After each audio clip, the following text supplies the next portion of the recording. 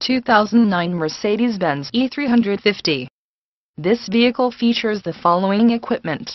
5-speed AT, 5-6-cylinder engine 3.5 L213, all-wheel drive, premium 2 package, sport package, panorama sunroof, front halogen fog lamps, blue tinted glass, selectable light sensing headlamps, multi-function display and instrument cluster Inc., trip computer, exterior temp gauge, digital speedometer, oil level check, audio status, reminder and malfunction indicator, driver programmable settings, trip meter, cruise control, dual illuminated visor vanity mirrors, 4MATIC.